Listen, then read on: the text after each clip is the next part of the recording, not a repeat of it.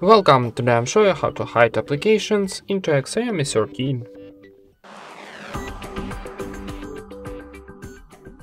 First of all, open your settings, then scroll down and go into security options. Hmm, okay, security status maybe? No. Okay, let's try uh, to enter in search hide hide apps here. Go into this options, hide apps, and now from the list choose our applications what we wanna hide.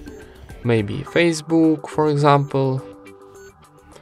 Okay, uh, here we got a message how to find the hidden apps.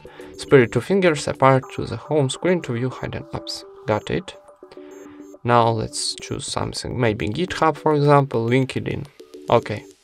And now go to our home screen and here we don't got this application so and now Uh, do it like this. And here we got all our hidden application. Thank you for watching. Leave thumbs up and subscribe to our channel